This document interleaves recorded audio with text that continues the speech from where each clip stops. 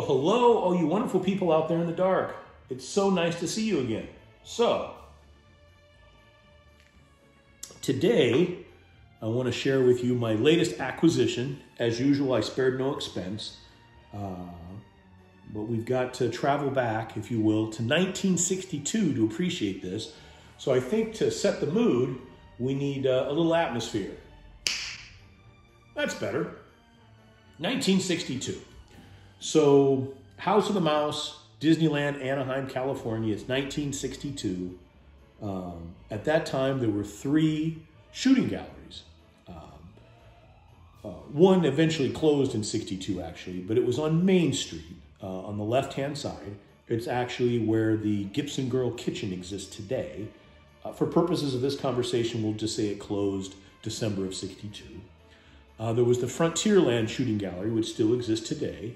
And in 1962, they opened the third shooting gallery in Adventureland, and it was known as the Big Game Safari Shooting Gallery. And it was directly across the street from uh,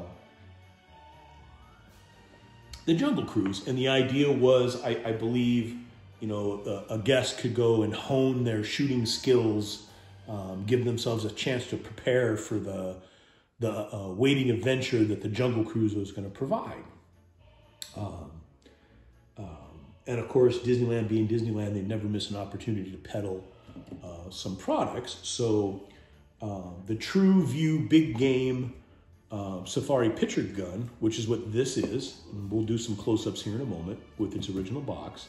Uh, this is one of the souvenir tie-ins that was produced by uh, uh, the Tru Vue Company.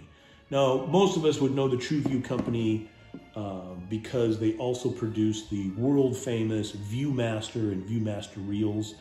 I think every, uh, well, certainly every boomer and every generation X had a had a viewfinder at home. You know, you put up your eyes and, and rifle through the circular. You know what? I'll show you a picture. Here, here, take a look. Here's a viewfinder.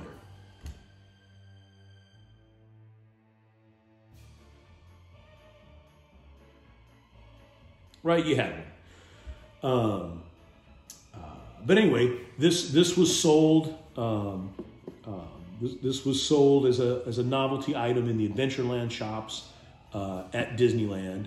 Uh, and I believe you could also probably get it at the Sears catalog and probably the Monkey Ward's catalog. Um, and at, at, that time in 1962, or presently at, it was a, a whopping $2.95. Now, the idea behind this, uh, and I'll, I'll, show you a video here, is you know your your son or daughter would look through the the viewfinder, and uh, you'll see in a moment you you you pull the trigger and you wrap, you know, it, it, rotates some pictures. You'll see a picture that has a target. You pull the trigger and you, you shoot the animal. Um, well, as a matter of fact, here, here, take a look. We're gonna zoom in right now. Zoom in. Take a look.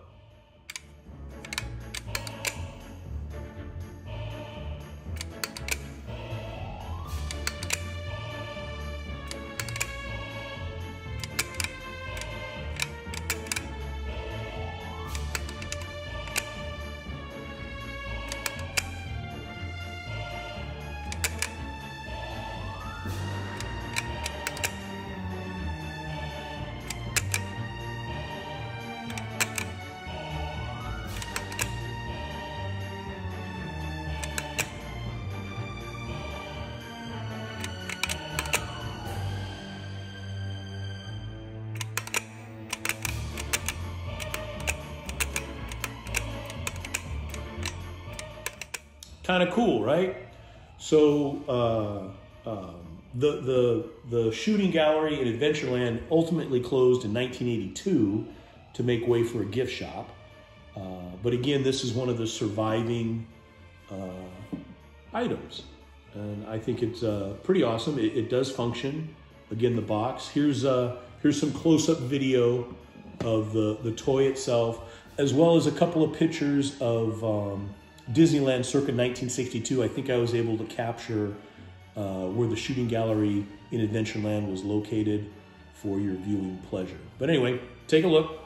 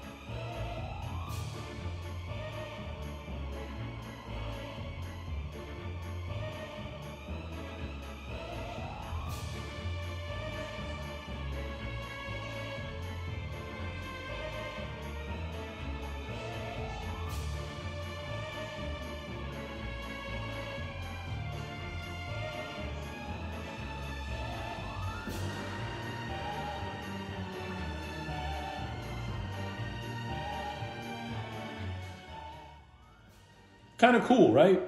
Uh, again, the gun is in impeccable shape. Uh, I think they're pretty rare. I don't know if you'll see another one. Maybe, well, I don't know. Now that I found one, there'll be hundreds of them. Uh, but, but anyway, uh, just a piece of Disneyland history um, that's kind of interesting. They certainly wouldn't do anything like this uh, today. Uh, I'm sure this would be frowned upon by a whole lot of people, but I thought it was super cool.